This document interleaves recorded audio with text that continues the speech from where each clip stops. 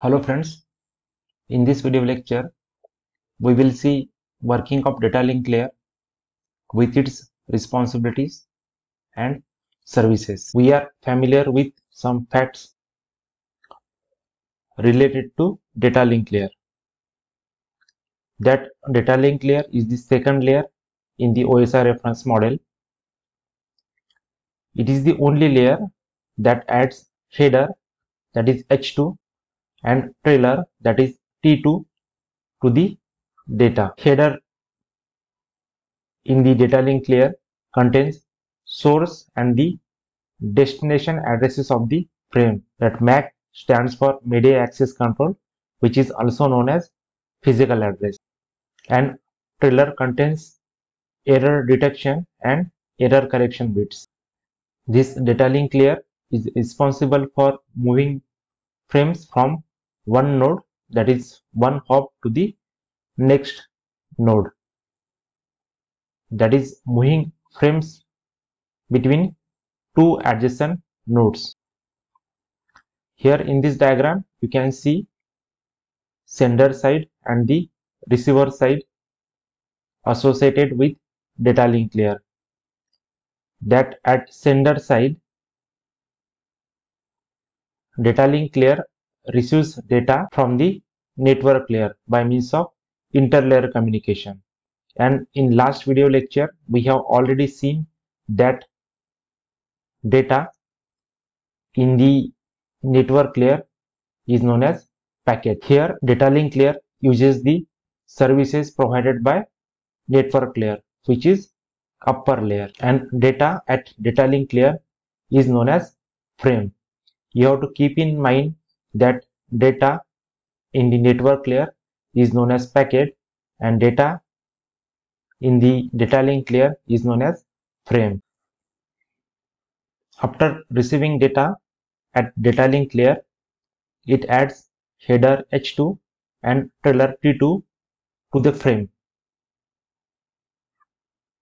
and sends those frame to the lower layer which is physical layer by means of interlayer communication. Means here in this case we can say that data link layer which is upper layer provides services to the lower layer that is physical layer. At receiver side data link layer receives data from the physical layer that is lower layer by means of interlayer communication means here in this case we can say data link layer which is upper layer uses the services provided by lower layer. That is from the physical layer. And after receiving data at the data link layer it removes header h2 and trailer t2 from the frame and sends the remaining data to the upper layer which is network layer by means of interlayer communication. Means in this case data link layer which is lower layer provides services to the network layer which is upper layer. Now let's see services or responsibilities provided by data link layer. First one is the framing, second one is physical addressing, third one is flow control, fourth one is error control, fifth one is access control. And last one and the most important is moving frame from one node to next node. Let's see all these one by one. First one is the framing. So data link layer divides stream of bits received from the network layer into manageable data units and those data units are known as frames. Next one is the physical addressing. If those frames are to be distributed to different system on the network, then data link layer adds header to the frame to define the sender and or the receiver frame. And this is done with the help of 48 bits MAC that is media access control address which is also known as physical address. And if the frame is intended for system outside the sender's network then the receiver address is the address of the device that connects the network to the next node let's see there is sender in one network and there is receiver in another network and these two networks are connected by two intermediate nodes that is R1 and R2. So while sending data from this source to receiver, here in this case physical address of the receiver will be the physical address of next node that connects to the network of receiver address. Now next one is the flow control. Flow control is nothing but rate of sending data should be lesser than or equals to the rate of receiving data. And if the rate at which data are absorbed by the receiver is less than the rate at which data are produced in the sender, then this data link layer implements flow control mechanism. Next one is the error control. Here in this regard, data link layer adds reliability to the physical layer by adding mechanism to detect and retransmit damage or the lost frames. And it also uses mechanism to recognize duplicate frames. And it is normally achieved through trailer added to the end that is T2 we have seen in the previous slides.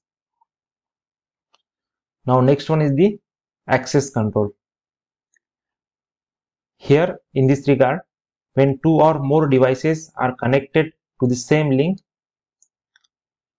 which device has control over the link at any given time is determined by data link layer. Let's say you are having multi-station access unit and you can have number of devices here if there is common link for sending data from this sender to the destination so in this case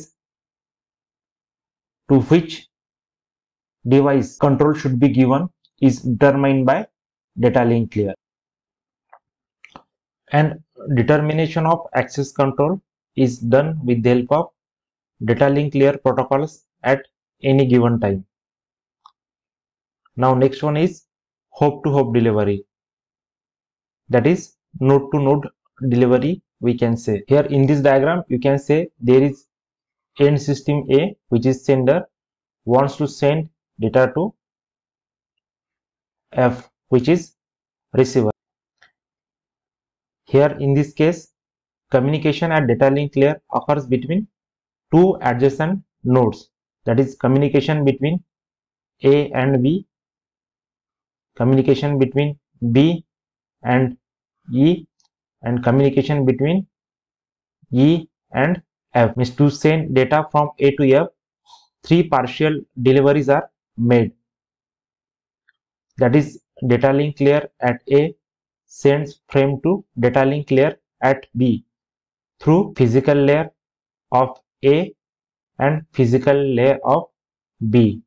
Here physical layer of A is connected with physical layer of B either through wired medium or wireless medium. Then data link layer at B sends new frame to data link layer at E like this. Data link layer sends frame to physical layer of B and physical layer of B is connected with physical layer of E that is next node and physical layer of E sends data to data link layer of E through vertical communication that is interlayer communication and data link layer at E sends new frame to data link layer at F through physical layer of E and physical layer of F. After receiving data at physical layer, data that is frame is received here at the data link layer of F. So frames that are exchanged between three nodes have different values in the header. That is frame from A to B has B as destination address and A as source address like this. Frame from B to E has B as source address and E as destination address. That is destination address of next hop or the next node. And frame from E to F has F as the destination address and E as the source address. And communication between two adjacent node is known as hop to hop communication between A and B that is hop to hop communication between B and E that is hop to hop and communication between E and F that is hop to hop or node to node. And values of the trailers can also be different if error checking includes header of the frames. In next video lecture we will see physical layer thank you for watching.